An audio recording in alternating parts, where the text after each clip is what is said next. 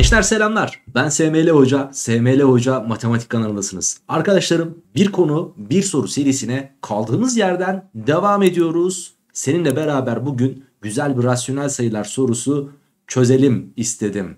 TYT'de böyle bir soru karşına da çıkabilir. Tam olarak TYT zorluğunda ve ne kadar yani nasıl diyeyim çok zor değil, çok kolay değil ama TYT kadar da birazcık düşündürücü bir soru olduğunu sana söyleyeyim. Önce videoyu durdur, çözmeye çalış. Daha sonrasında çözemezsen eğer ben videonun çözümünü, sorunun çözümünü senin için yapıyor olacağım kaldığım yerden. Evet, hazırsan sorumuza geçelim.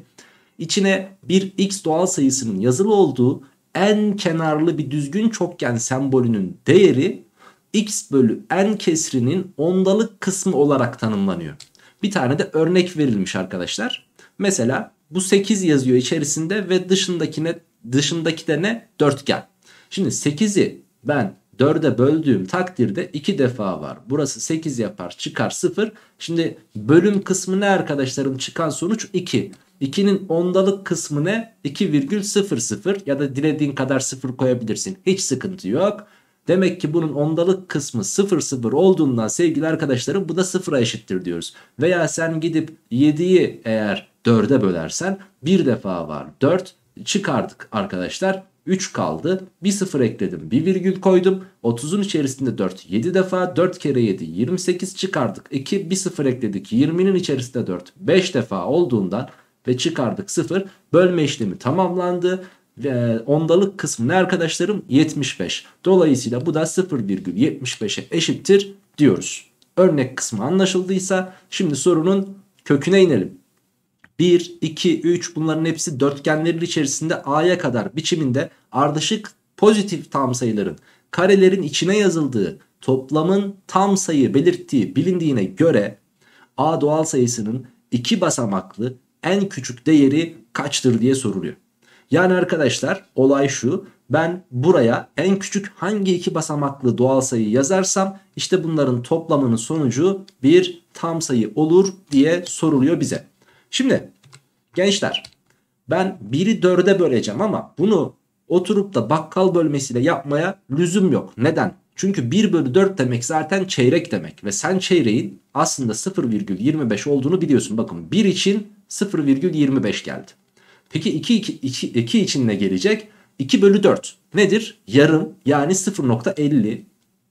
İkisinin toplamı 0.75 yapıyor. 3'ü yazarsam arkadaşlar eğer 3 bölü 4 3 tane çeyrek demektir. Ve dolayısıyla da 0.25'ten 3 tane yani 0.75 olacaktır. Peki 4 yazarsam 4 bölü 4 1 e, tam kısmı ne olacak? 0 olacak. Yani 0,00'a eşit olacak bu değer. Şimdi bu dördünün toplamına baktığınız zaman 1,5 yaptığını görürsünüz. Peki 5'i yazalım. 5 de arkadaşlar 1 tam 1 bölü 4 olduğu için 1,25'e eşittir. Yani bu da 0,25'e eşit olacak buradaki tanıma göre. Peki 6'yı yazarsam ne olacak? Sırasıyla gittiğini göreceksiniz. 0,50 olacak. 7'yi yazarsanız 0,75'e eşit olacak. 8'i yazdığınız zaman da yine 8 bölü 4 2,00 geldiği için 0,00'a eşit olacak. Şimdi bakalım. 0.25, 0.75, 1.5. Şu an burası 1.5 yaptı. Şununla beraber de 1.5. E şurası da 1.5 gelecek gördüğünüz üzere. Demek ki sevgili arkadaşlarım şunların toplamı bize neyi verdi? 3'ü verdi.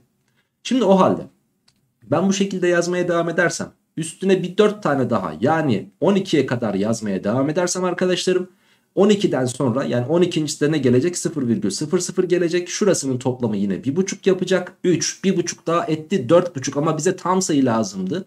Peki o zaman 16'ya kadar devam etmiş olursam 16 da bana 0,00 verecek. Burası da 1,5 geldiği için 1,5 1,5 3 yaptı. 3 daha 6 yaptı ve 6 bir tam sayı. Şimdi şunu sorabilirsin unutmuş da olabilirsin. Hocam 3 tam sayı gelmişti niye cevap vermedik? Çünkü bize 2 basamaklıyı sormuştu. 8 2 basamaklı olmadığı için devam ettirdim olayı. Peki şimdi buraya bakalım 6'yı yakaladık tam sayı ve buradaki 16'da bir e, sevgili arkadaşlarım 2 basamaklı ama şıklarda 16 yok. Neden yok? Çünkü arkadaşlarım 16 0,00 eşit olduğu için bundan önce 15'i almamız yeterliydi. Yani 15'te 0.75'e eşit olacaktı biliyorsun. Demek ki ben birden başlayıp şurayı 15'e kadar alırsam bunların toplamı bana 6 tam sayısını verecektir. Ve alabileceği bu A'nın alabileceği en küçük iki basamaklı doğal sayı değeri de tabii ki ne olacakmış? 15 olacakmış. Yani cevabımız A seçeneğinde verilmiştir diyebiliriz. Bence tam bir TYT sorusuydu. Umarım soruyu beğenmişsindir. TYT için de sana bir ön hazırlık olmuş olur. Seni seviyorum. Hoşça kal, sağlıkla kal ve tabii ki bol bol matematik çalışmayı da lütfen unutma.